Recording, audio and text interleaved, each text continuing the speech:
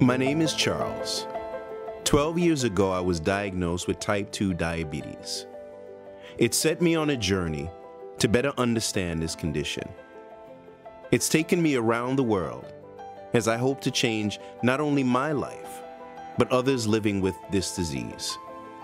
I've teamed up with some of the best in health to find ways to not only control, but to reverse. It does not take much to live for others, and what we leave is how we will be remembered.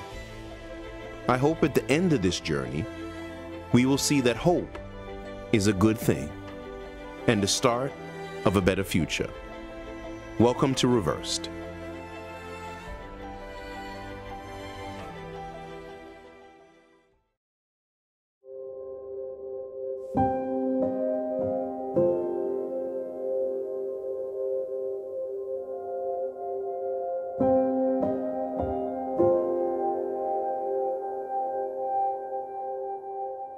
Think that you know one of the reasons we choose Costa Rica is to is to take people away from their comfort zone, right? We want to make sure that they are away from the trappings of family and friends and work and stress and and and as they say in, in Costa Rica, Pura Vida. So they're coming to a place where they can actually relax, see the beautiful scenery, see the beautiful people. You know, going forward, this is a series that we could all be proud of.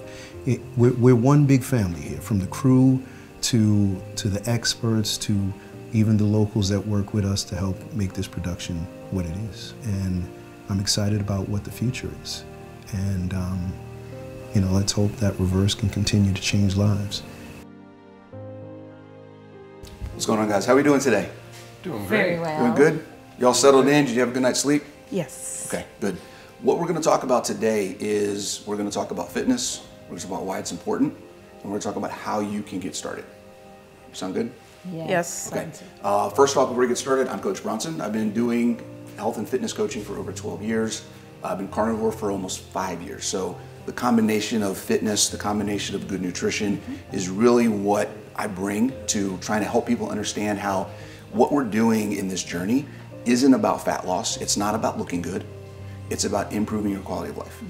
It's about how can I live better? How can I do more things physically? How can I not have the physical limitations of my body limit the things that I can experience in life? So if I have poor mobility, if I have weakness, if I have things that are going on that don't allow me to do things, I can fix that. So I was in my mid 40s and I had found fitness. I was a CrossFit gym owner. I had been doing CrossFit for a while. I was in shape, uh, but I was not healthy. So I still had IBS, I still had urgent bowels, I still had body fat that I just couldn't seem to get rid of. And even though I could do things physically, I just wasn't in general happy with the way that I felt and the energy I had throughout the day and how I looked. All the whole big, the whole thing. Like a lot of people are at a point that a lot of people are at. Um, I was introduced to the idea of just eating meat and not eating any vegetables. And unlike a lot of people, I just went all in right from day one. So May 1st, 2018, I stopped eating vegetables and I haven't eaten any since. So it's been almost five years now that I haven't had any vegetables and it was probably the best decision that I've made. So what we're gonna do is we're gonna go outside. You guys ready? Get some sun. Yes, yes. We'll, we'll talk about sun and vitamin D and all that kind of stuff too at some point. But get outside, get some sun, get some movement in, and we're going to talk about the seven essential movements, how to get them going, how to start, how to figure out if I have a limitation. Maybe I, do, I can't squat all the way. How do I actually get that and progress so that I can get better at the, each of these things? Cool. Any questions so far? This is sounding great. Good. Good. Good. Good. You guys ready? Yes. All right. Let's do it. Yep. All right, guys, so now what we're gonna do is we're going to move our bodies a little bit. We're gonna go over those seven movements we talked about, okay?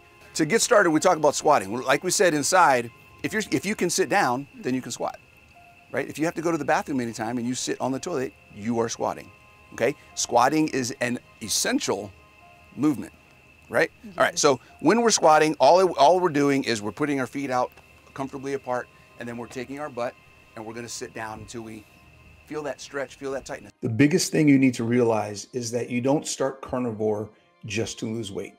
Most people get on the carnivore lifestyle and start going to more meat and less vegetables and less plant matter because they have health issues that they're trying to improve. It's about improving quality of life, it's about improving metabolic function, and it's about improving the things that your body can do, removing stress and increasing the capability of your body. The biggest thing that people need to include in that process is fitness. Fitness goes hand in hand with nutrition. Nutrition handles the internal function, the internal stress, the internal performance of our body. Fitness allows for better management of the external stresses, the physical stresses, and the physical performance of our body. We need both of them together, and we need to make sure that we're doing things that reduce stress, improve strength, build lean muscle, improve metabolic function. And the two of these things work together fantastically. If you can't move your body, it doesn't matter how good your diet is. If you're sedentary and you're not doing things in order to optimize what you're doing on the nutrition side, then you're doing that incorrectly as well. Have you ever heard of food addiction? Do you feel like you might actually be suffering from some level of food addiction? My name is Dr. Sarah Zaldivar, and I'm a nutrition professor at Miami Dade College. And I'm a content creator, especially focused on the carnivore diet. How would you define food addiction? Abnormally high desire for certain foods, a craving that probably goes away temporarily mm-hmm. and then returns with an even greater vigor afterwards. How many of you would say that the reason sometimes we struggle to eat what we know is healthy for us is mainly because of those cravings, mainly because we have a level of food addiction that maybe we're not completely aware of its extent. And so it rears its head, like what you said, Dennis, right? When you try to stop, then you're more aware that you are having the this pull towards eating food even though you know it's not in your best interest. How many of you would say you're struggling or have experienced cravings? I have experience. For sure. Everybody. Yes, Everybody, me too. sure. And I'm sure Mm-hmm. you have, right? Exactly. so, yeah, food addiction is a very real biological fact. The studies are coming out and they are proving what we already know just by trying to eat healthier. We have a lot of rodent studies that have really chilling results showing that sugar can be four to eight times more addictive than cocaine and very high concentrations of cocaine. When you look under the definition of eating disorders, food addiction is not there. And it's not going to be there anytime mm-hmm. soon. Mm-hmm. Because a lot of the whole eating disorders was anorexics, bulimics, and they don't want you to fear any food, which I argue causes a lot of anxiety around food. You, you know, you have food issues, you're thinking about it often with the anorexics and bulimics. But that's why society doesn't accept food addiction as an addiction, even though we know the studies show even when the rats are given a shock when they choose the sugar or cocaine without the shock, they choose the sugar. What got me to be a nutritionist is when I was 16, I was twice my size and I wasn't feeling well. I went to the doctor and the doctor said, you have something called PCOS, which is polycystic ovarian syndrome, which is basically a type 2 diabetes that affects female fertility. I was, uh, I had acid reflux, I had IBS, um, I had depression, and that doctor gave me three medications at the young age of 16. And I never once filled them because I changed my life. But it is interesting how society doesn't want to accept food addiction as real because they're all dealing with it. They want to go have the ice cream. And I think when you say we're supposed to grow rings, you mm-hmm. know, they're growing rings, so they want us to also. Mm-hmm. You all raised your hand when she asked if anybody has a food addiction. When did you know that moment that you were food addicted? So for me, it was when I tried to stop. It was as soon as I, I mean, it's within hours of, of saying I'm, I'm not gonna, ha- and it just your brain starts with, you know, go, looking for what's next to eat. You know, that was that was when I realized. I knew I had an addiction, like cheesies, when I went to the Bulk Barn, five pounds of cheesies. That was my I wasn't a bad food eater, but I would buy this big bag of cheesies. A great tip for anybody wanting to detox from the addiction don't let anything sweet cross your lips. So, stevia, monk fruit extract, artificial sweeteners, or even actual sugar, obviously, you don't want to remember the taste of the sweetness especially if you particularly are drawn to sugar. This is an ongoing process. We're changing a lot of habits. If you need any help, don't hesitate to reach out. We can do one on ones, and this is what we're here for to stage this intervention and support you into finally breaking free from food addiction. Well, thank you very much. That's pretty, pretty encouraging. Awesome, awesome. That's great. Thank you, everybody. All right.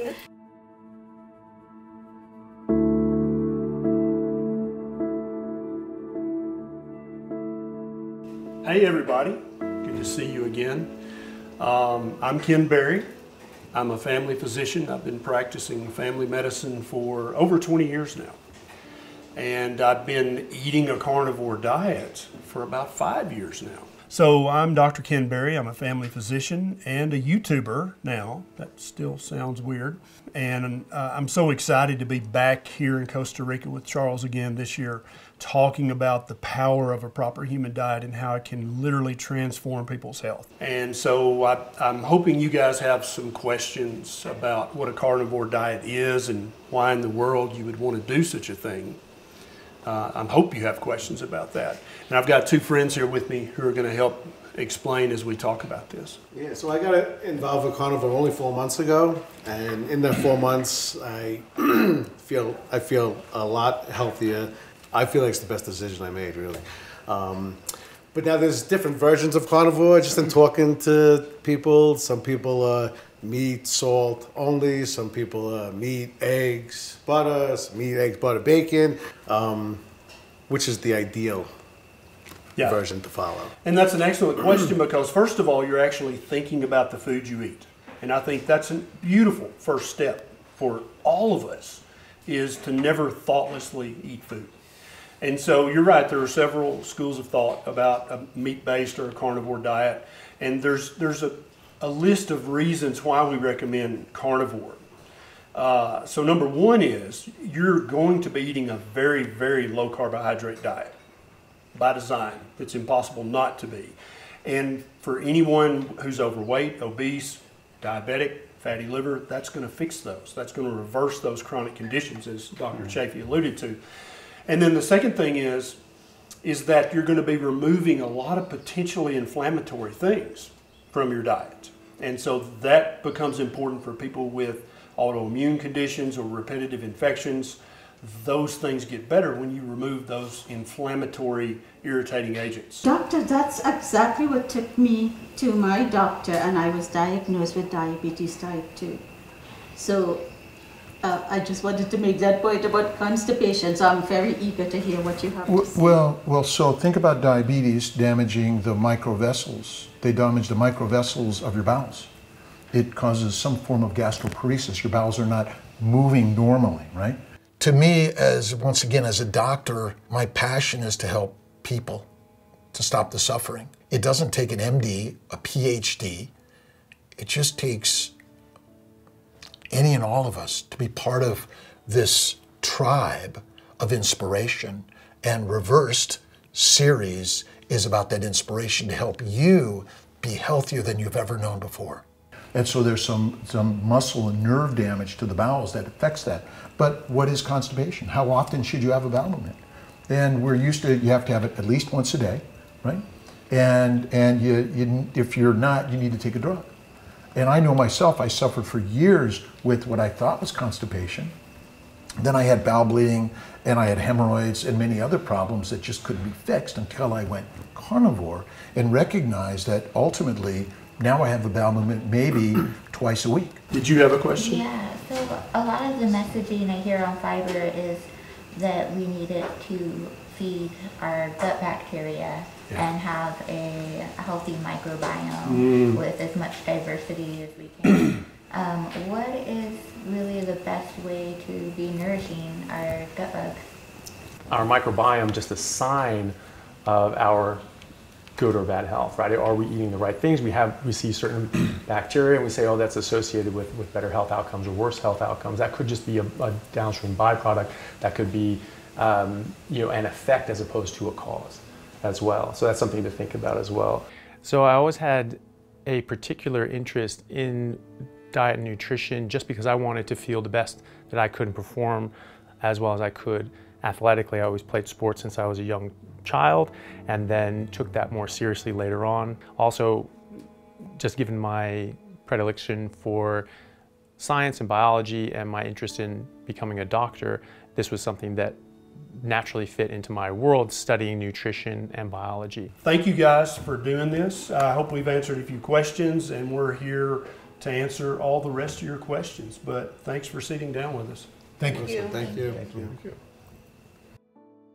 Well, this day has been unfolding in amazing ways for me. One is I'm meeting so many of my co uh, inspirational uh, mentors in the carnivore space, uh, Dr. Berry, Dr. Chaffee, but also meeting so many inspirational students that are new in wanting to learn about this carnivore journey and heal their diseases such as diabetes and many others. So today's been a great day. I think the house guests are really excited about this carnivore diet. They're eager and hungry for knowledge, and that's always a good sign. Maria's been cooking some delicious carnivore food, and they've been enjoying that as well. And I think it's a little eye opening to realize hey, this food is delicious, but this is a diet that's going to improve my health. So I think the day has been a great success. I think the house guests have learned a lot, got a lot of questions answered, and I've had a blast hanging out with them and everyone else. And I can't wait for tomorrow.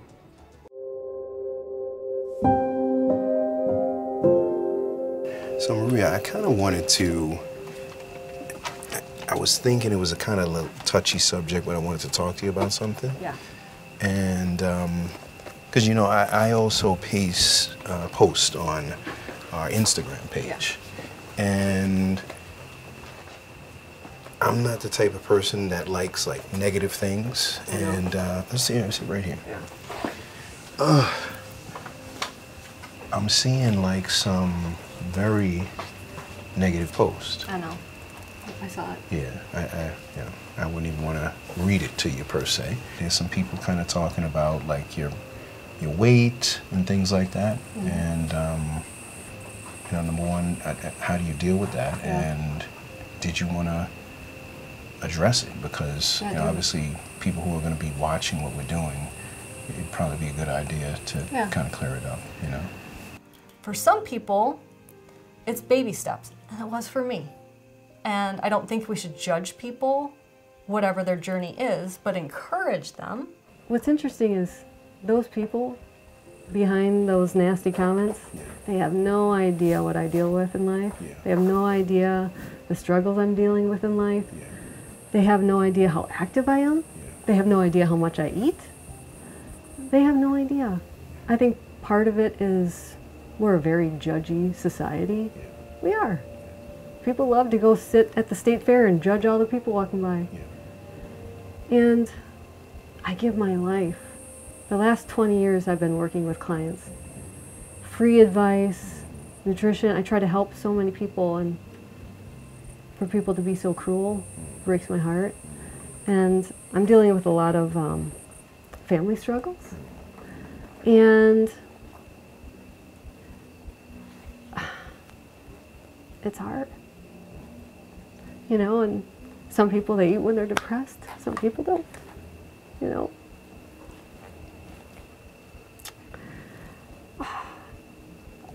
To see someone go from so strong, your husband go from so strong to so weak, can't even walk.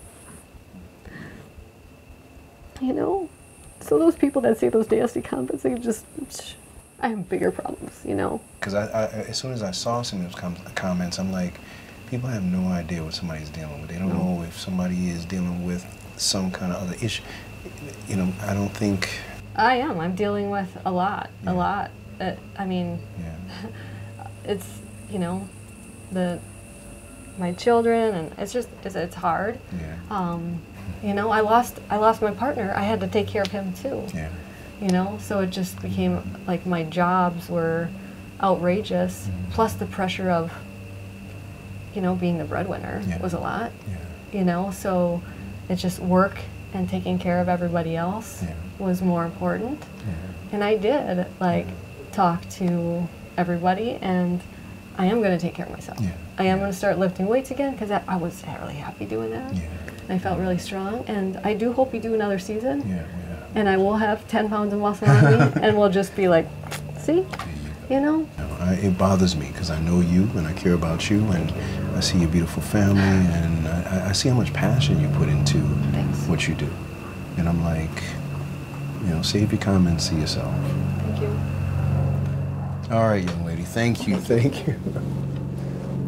Thank you. I appreciate that. Like more than you know. Coming up on Reversed. You can lose fat and gain muscle, and your weight doesn't change at all. No plants, no sugar, nothing artificial. Well, what I've learned is our standard American diet, which is pretty much a high plant based, lean meat diet and no red meat, is causing all of our problems. Carbs, plants, and sugars damage our cells and bodies, causing dysfunction and disease. Leading fertility specialist Dr. Robert Kiltz has a solution for improving your health and wellness. A high fat, no carb carnivore diet featuring inflammation reducing foods like bacon, eggs, butter, and beef, combined with intermittent feasting, improves glucose and insulin levels and virtually all aspects of your health. Learn more in Dr. Kiltz's new book, Kiltz's Keto is Carnivore, a guide for a fertile life and beyond. Available at Amazon.com. Some of my favorite compliments that I've gotten is when I'm called a magician in the kitchen. And it's really not me, it's the ingredients I'm using. I'm always looking for adding flavor and umami to my cooking, and one thing that I always always use is fond bone broth. It not only tastes delicious, it uses the best quality ingredients, and there's no sugar. A lot of bone broths have sugar in them, so this is just another reason why I love Fond. They have an awesome video for you to check it out, and here it is.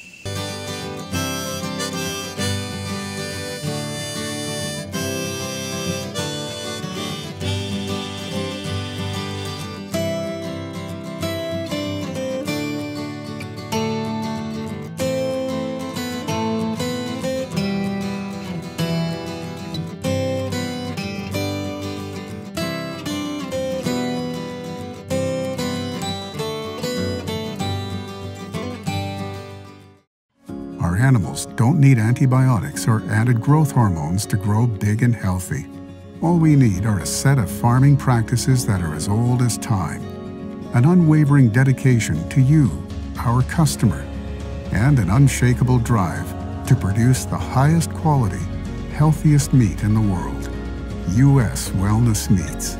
Our animals eat right, so you can too.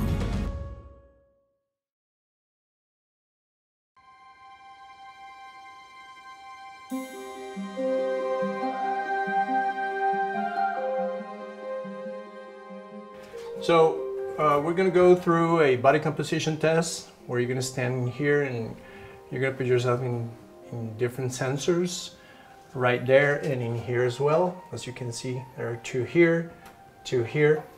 And what do we get from this? We get a measurement of body weight per, or percentage of body fat, also muscle mass, total water, even uh, visceral fat. Okay, now it is important to know that these are not direct measurements.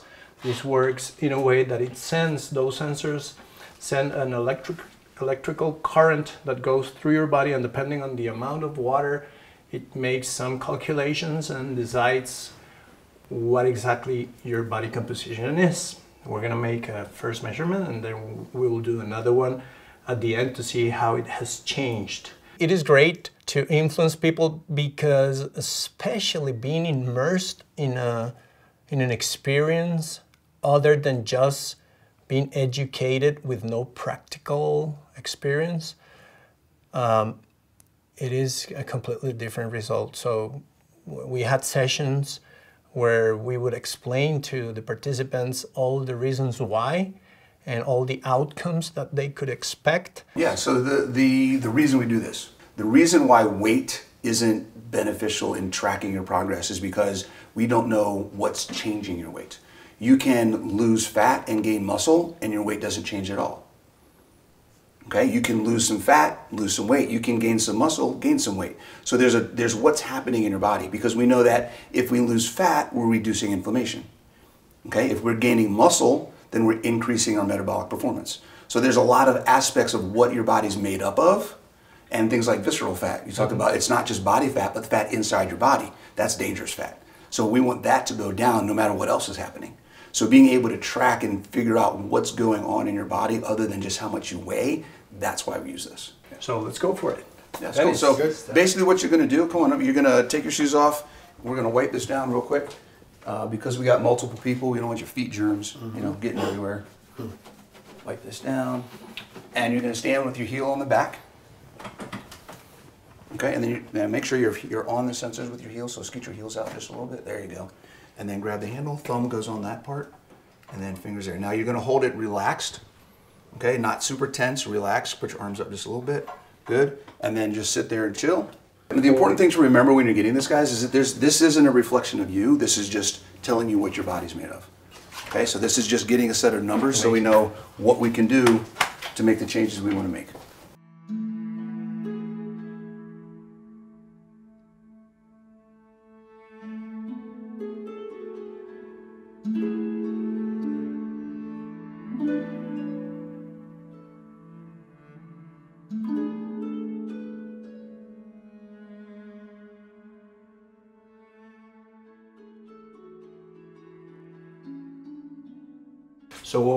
Can we expect to happen from the first measurement to the second measurement? Uh, you're going to lose fat, even though carnivore uh, is and can be high in fat. The fact that we're not using carbohydrates lot, uh, at all, that means that your insulin levels are going to be stable. That way, your body can have access to your fat, internal and external, the subcutaneous fat as well as the, the one that is in your viscera. And what we can expect is going to happen is that even though we're doing a high fat diet, which according to the regular con- or conventional view is going to make you fat, is going to be completely the opposite. And it's going to be shown in this. Yeah. Okay. Oh, that's fun to see. So what we're going to do is I'll take all this information and we're going to discuss everything we've found in a later session and then we will do another assessment to see the difference between the first and the second session. And there you will see the difference. Ooh, that'll, that'll be fun. Yeah. all right. Cool. Awesome. Thanks, guys. Being here at Reverse Carnivore is still kind of in a dream for me. I've gotten to know a lot of the experts that are here, and over the last couple of years, talked with them at different events, spent some time doing videos and podcasts. But the idea of all of us coming together in one space to talk about something that we are all passionate about, share ideas. So, the one thing I want to get out of this is information that is easily accessible to people to understand how beneficial carnivore can be to improving their quality of life. Not losing weight, improving their quality of life. Okay, everybody, are you having fun so far? Yeah. Yeah, excellent. We thought we would have a little roundtable discussion about what is a carnivore diet, what you can eat, what you shouldn't eat. I think there are a lot of misconceptions out there. Nothing excites me more. That's what gets me out of bed every day is knowing that with the knowledge I give people, they're going to be able to improve their own health without pharmaceuticals, without supplements, without joining a course or spending a bunch of money or time. They can improve their health, and that's that's what makes me tick. To, to me, I I like to think of things in the context of what not to eat being as important as what to eat, right? So you're eating meat, you're eating fat, you're drinking water. These are all good things that are healthy for your body. That's great. But there are other things that actually cause harm. And so those are things you want to avoid. And so for me, I have sort of three rules with that, which is no plants, no sugar, nothing artificial. And that would go for sauces, seasonings, and drinks as well. And so you can ask yourself, something comes up, it's like, oh, we're going to put some pepper on it. Well, no, that's a plant. Or what about some honey? Well, that's sugar. So I found the carnivore diet sort of through a circuitous method. I was taking cancer biology and we were learning about how toxic plants were and how actually a lot of the plant toxins that they use naturally to defend themselves in nature against predation were actually carcinogenic. And I remember thinking in my head, but aren't aren't vegetables still good for you? And I remember my professor looking at us and saying, I don't eat salad.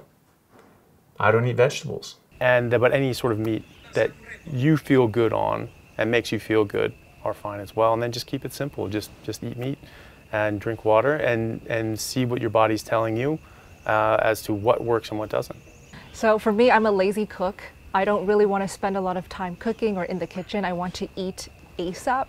So what I usually do is I stick to the simplest meals. I sear up some steaks, I sear up some ground beef, I have some animal fats with it to keep it high fat. I love butter. So steak and butter, my name's Steak and Butter Gal. That's kind of why I came up with it. When I first started carnivore, all I really craved for was steak and butter. And I think that's another great tip. What do you crave for on the carnivore diet? That is animal foods, meaty, fatty. Um, just go with what you crave. My biggest concerns when I first went carnivore was I lost my period. I was suffering with amenorrhea and I didn't have a cycle for more than two years. And that was honestly because I was malnourished on the vegan diet. I was eating such low fat meals and not enough protein too many carbs, too many processed foods as well. So when I lost my period, I started freaking out because my goal is to have a happy, healthy family one day. I got my blood tested, and my doctor literally sat me down and said, you are deficient in so many vital things, especially vitamin D. You are anemic. What is going on? I'm on the vegan diet. And she literally said, time to take supplements or eat meat. Keep it simple. That's really it. Bacon, eggs, butter, beef, occasionally Kiltz's ice cream and salt. That's the baby's way. I'm a fertility doctor. So the baby's way is the way. And I know Dr. Ken uses baby BBB E for yeah. eggs and bacon, eggs, butter, beef, and salt. Isn't that simple? Right? You don't need to make it difficult. I personally like to do one meal a day. Sometimes you do a snack or two, but it's that one fatty meat a day. Well, what I've learned is our standard American diet, which is pretty much a high plant based, lean meat diet and no red meat, is causing all of our problems. And pretty much plants are all sugar, and the plants contain poisons um, and chemicals that are damaging to all of us. And the first thing to go is our reproductive function. And that's kind of one of the most amazing things is uh, young women will have menstrual pain, heavy periods, irregular periods, as I said, polycystic ovarian syndrome or metabolic syndrome. And I was always looking for the why part of it. Well, it's just your genetics and you're unlucky. Well, maybe it's not your genetics. Maybe it's just your diet. So I want to take a different take on it too. If you're wanting the variety, there are so many different creative things you can make out of animal foods and in particular eggs.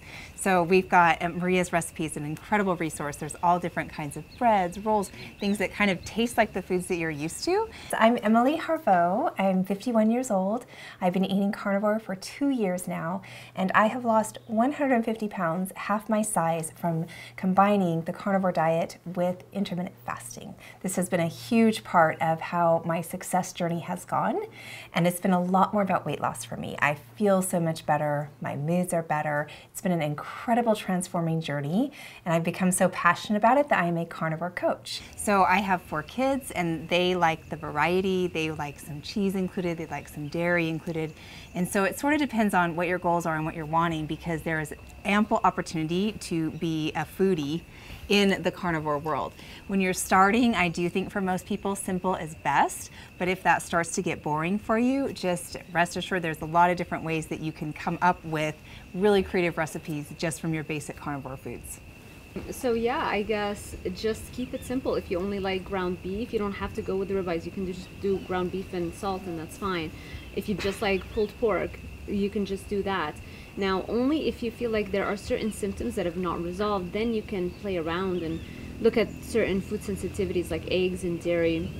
Eggs and dairy are part of the top seven most common food sensitivities in the world, and so this, those are the two things that I normally like to start with. Coming here to Costa Rica and being surrounded by all of the amazing experts and everybody that's doing the good work in the carnivore diet sphere has been one of the most beautiful experiences I've had in my life. Everybody is so nice, so passionate, so kind, so well meaning, and everybody's literally the picture of health. So when I first started eating this way, and it's been it's been a long time for me, my doctor was really open to the idea of eat and yes, it was a real doctor, my, my medical doctor. I hit jackpot. And I found one uh, 17 years ago that told me that it was the fiber that was upsetting my IBS symptoms and that it was the sugar and carbs that had me inflamed and I used to have all these boils. And he said, just, he didn't say animal products, but he was like, eat meat, eat eggs, eat dairy. For the whole time I've been carnivore, if you would ask me, what is, what is your point in talking about it? And some of the times I've talked about it have not gone over well. As a matter of fact, where I got a lot of negative feedback, but I kept thinking, but at least they've heard about it. At least now they've heard that it's even an option, that eating meat is an option. So, what are the benefits of adding extra fat to a meal that already contains saturated fat? You know, I know that's the you know the, the bad three-letter word is fat, right? Right. There's multiple benefits. First of all, it tastes better, so you're going to enjoy your meal, which is important. Secondly, it's it's very satiating which means it helps you achieve satiety, helps you feel full. And it keeps you full for longer than a, than a diet that's just very high in protein and low in fat. You'll be hungry again before long. Also, a lot of people think fat is just energy, it's just calories, empty calories. Totally false. Uh, butter, especially grass fed butter, is full of vitamins and minerals. So you're not just adding fat to be adding fat. You're adding it for a variety of reasons. Okay? I hope this helped clear up a few questions that you might have had. Now, on to the next adventure. Coming up on Reversed. If I use the word lapse, if I say how to come back after a lapse, do any of you know what that means? You have nothing to lose. Just try it, and we're here to support you. Welcome to Vista Atenas.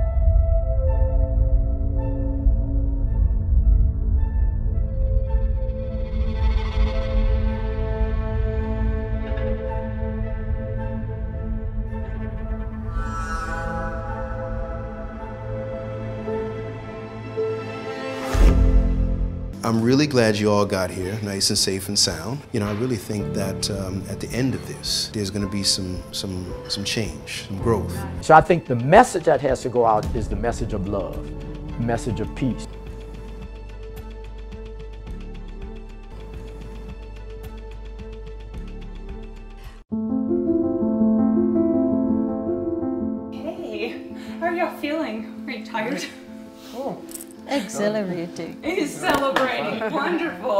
You don't feel too overwhelmed right now. That's great. Good. So if I use the word lapse, if I say how to come back after a lapse, do any of you know what that means? Or not really? I think of like addiction. If you've been off of something, then go back to it.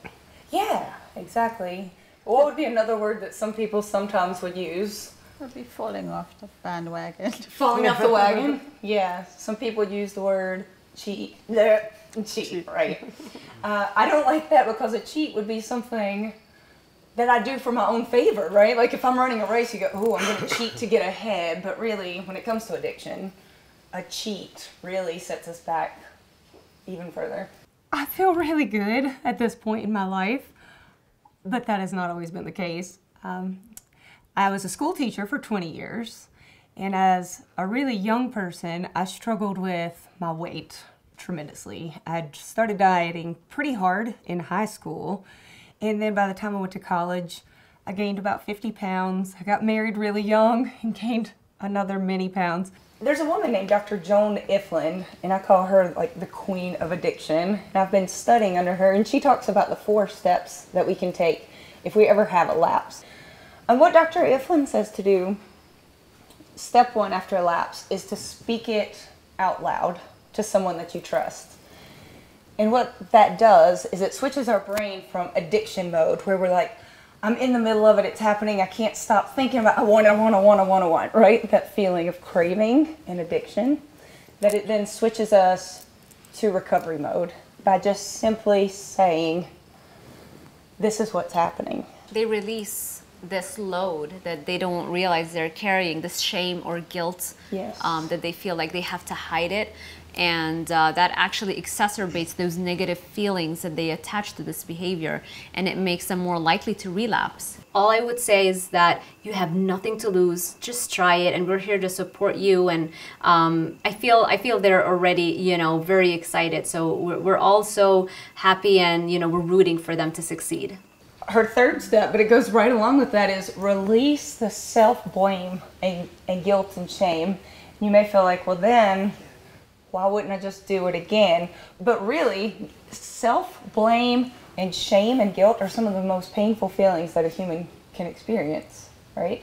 And that tends to drive people right back to the addiction. And I think research has been very clear that the harder you are on yourself in terms of how you talk to yourself, that actually pushes you away from health, not towards the right behavior. So it doesn't mean become complacent, but it means that you want to be kind to yourself and you want to talk to yourself as if you're talking to a friend, you know, and not just all of those really harsh, bitter feelings.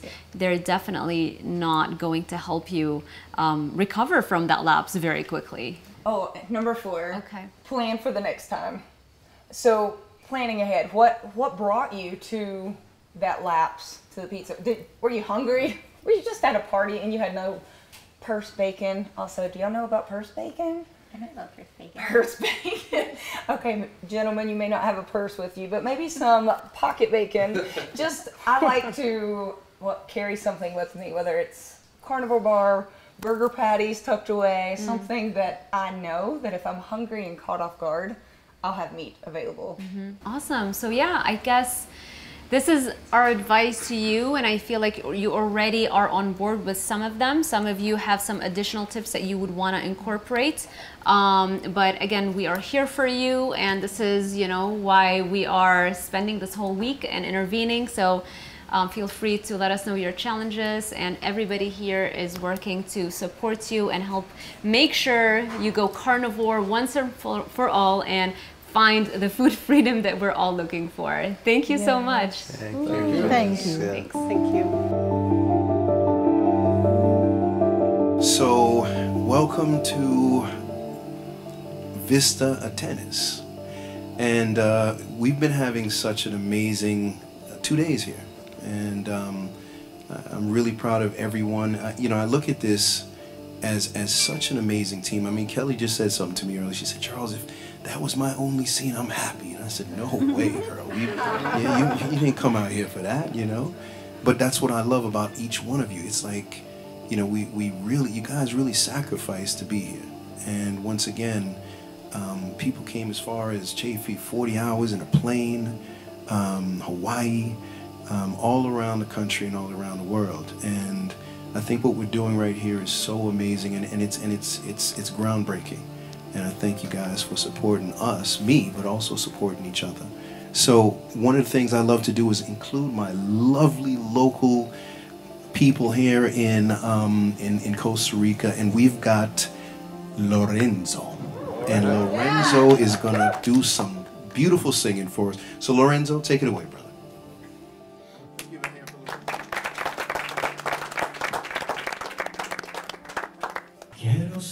Canción desde el principio al fin. Quiero rozarme en tus labios y ser tu camino. Ser el jabón que te suaviza, el baño que te baña, la toalla que deslizas por tu piel mojada. Yo quiero ser tu almohada, tu edredón seda, besarte mientras sueñas y verte dormir. Yo quiero ser eso que entra sobre tu cama. Despertarte poco a poco. When I first saw the carnivore community start, it was li- little tiny forums and web pages that grew to tiny little Facebook pages, and now there's a TV show to talk about it. Carnivore is amazing, and I've had the pleasure of meeting so many amazing experts in this area of your health and wellness. I was excited to come, but I am exhilarated. I felt I was in a surreal dream throughout. This was like being in such a perfect environment with people of the same mind, just all of us driven for the same cause the cause of health, the cause of the carnivore diet. And personally, for, for me, to know that I can have a future myself that's going to be safe, healthy, and I almost feel as though I'm going to be leaving as a superhero in training because the to meet these people in person is such an experience that just seeing them it's great to see them on video but when you see them in person you can just feel the energy you can see their shine. These are some very healthy people and to know that I now have the same chance to, to be the same, I'm really looking forward to the years ahead. y se apasiona por una mujer. Convierte su amor en su vida, su comida. Tune in to the next episode of Reversed. So the fat caused the insulin spike. It's just you ate past your personal fat threshold. You ate And I don't know many what that term means. Maria and I go back a long way. I love Maria like a sister, and uh, that's not the first time we've ever butted heads. Were any of you guys, when you first heard about carnivore, were you like, but where will I get vitamin fill in the blank? I'm really excited about this next segment. We had these lovely ladies here before on the last season. So, do any of you practice intermittent fasting or have tried any type of fasts? Dr. Hampton. Man, so happy to spend a moment with you today. Uh, it's been nice getting to know you. Do any of you have any concerns or questions about family life?